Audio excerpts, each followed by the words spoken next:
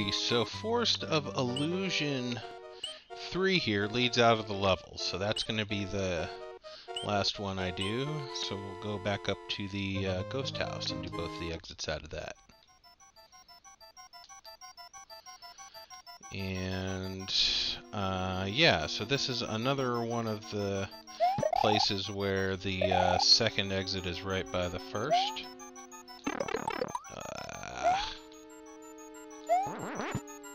Do it the way I do it, uh, I definitely need the cape here.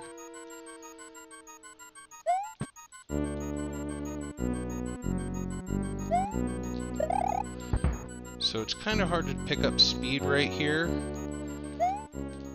But uh, once you do, you can use it to fly over the wall here. And uh, it's a nice little shortcut. Because there's some stuff that you can do, you go through the levels and yada yada. Alright, so that's the first exit right there. But there's a second exit on the other side.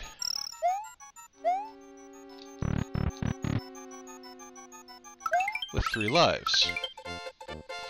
And another bonus stage, you get to watch me screw up.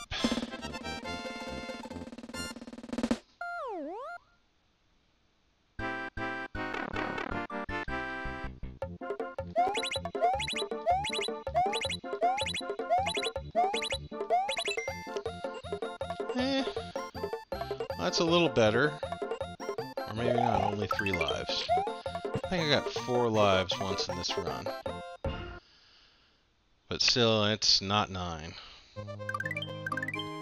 But yeah, see, it just made a path right back to Forest of Illusion 1.